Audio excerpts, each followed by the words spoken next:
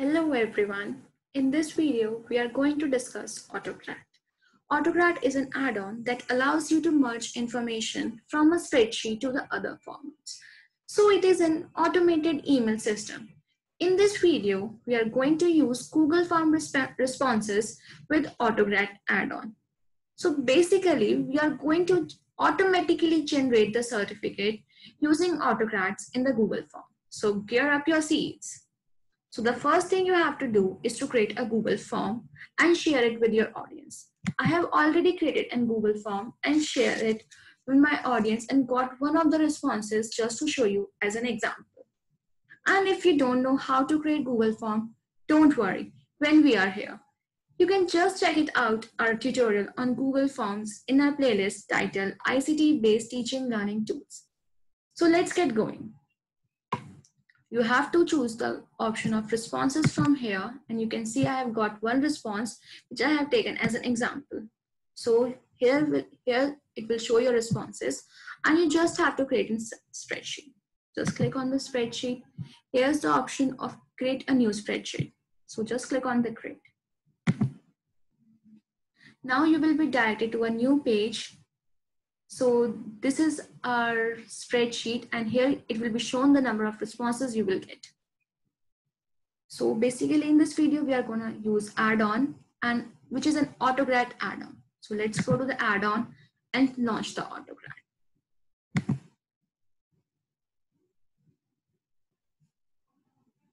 So and another dialog box appear and you have to click on a new job to start a new work in the Autocrat. So let's add the name to your job.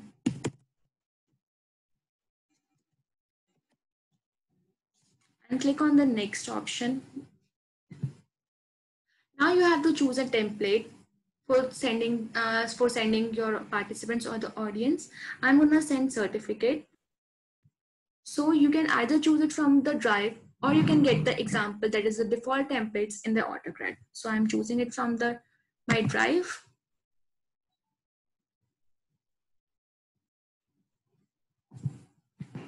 So just selected. Now you can just see if it's the correct one or not. So it is the correct one which we have created earlier.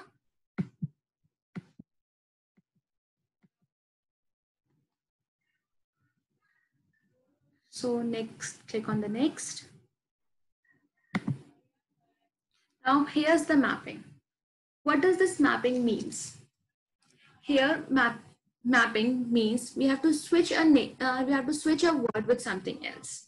So here this you can see the name is being used with the less than and more than arrows, which means it's dynamic and it can be changed accordingly.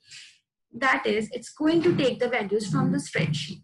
So here's this name has to be switched with the name. You have to just say it has to be switched with name. Here are the various options. If you want, here is this various options. You can just choose it from here. Let's close it out. So basically it means that this name has to be switched with this name and it has, this will be taken uh, values from the spreadsheet. You can see from this name it will take the value. So let's click the next. So here comes the file name. So you have to just choose the file name. You can just choose the name from here. You have to just click it this. It means it, it means it has been copied. Now you have to just paste it and just write the This is the name which will be sent to the people or the audiences. Now you have to change, you have to select the type of the format which you want to say, uh, type of the format of the file which you want to send, either Google Slides or the PDF. I'm going to send with the PDF format. So click on the next. Now you have to choose the destination folder.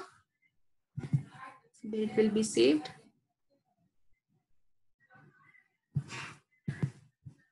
Just select it. And next. It's an optional feature. You can just skip it out. This too. And the next option is to share docs and the send emails. You have to share this doc. You have to just click on the yes. and here's the other options you will get. So you have to share your doc as a PDF because we have already selected the PDF. Now the next question arises, allow collaborators to reshare. If you want to give the authority to the third party to share it, to basically to reshare it. So let's go with no. Send from generic no reply address. It's being no. Now this is to where you want to send. We just have to send to the these emails. You just have to click, it's being copied and you have to paste. The next comes with the CC. You can just add the blank carbon copy or the carbon copy with this. Next, let's add subject to this.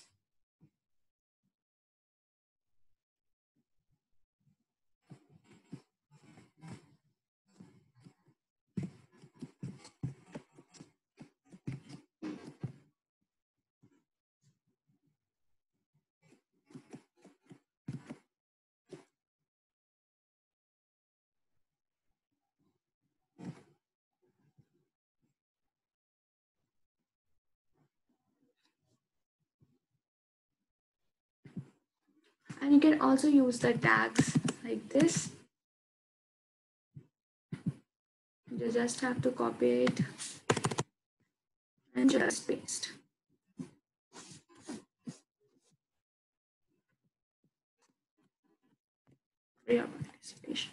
So next click on the next. So here comes the triggers. It means when these mails have to be sent, you have two options either run on form trigger, it means as and when you click, then only it will be sent. You have to run it manually basically. Or run on time trigger, here you have to set a time when it has to be mailed or sent. So if you click on the yes, here's the option. And if you click on this yes,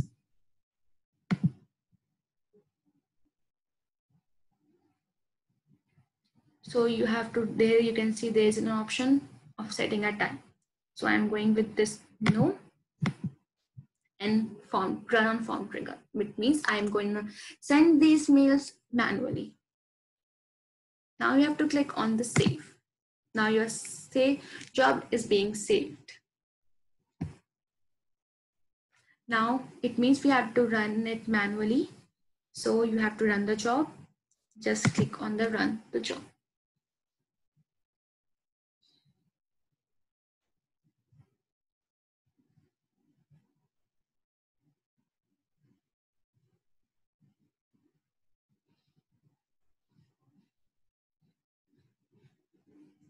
I think my connection is quite slow, so it's been taking a long time.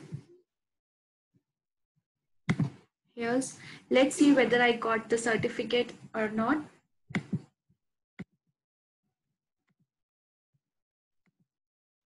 So here's the mail for the info at the rate odd partikle and here I got the certificate. The subject is odd. Thanks for your participation. And you can just see my certificate. This is to certify that odd has participated in this competition held on this. Now, this is how you can automatically generate the certificates using Autocrat.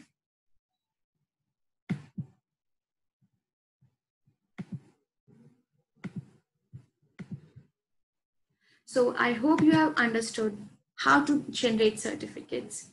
Keep practicing as nobody else is gonna do your work for you. Thank you. Stay safe and stay tuned with Odd Partikle. Bye, guys.